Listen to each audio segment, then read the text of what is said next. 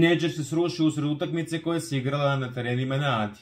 Hitna pomoć i zaposleni Crvenog krsta dali su sve od sebe da spasu dečaka 16 koji danas preminuo dok je igrao futbolsku utakmicu na Adi Ciganliji, ali mu nažalost nije bilo pomoći, rečeno iz hitne pomoći.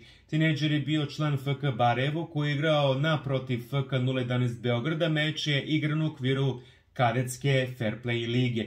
Naša ekipa hitne pomoći brzo stigla na mesto nesreće, dečaka koga je otac gledao sa tribina već su pokušali da reanimiraju članovi Crvenog krsta. Nažalost, reanimacija nije bila uspešna, dodali su iz hitne.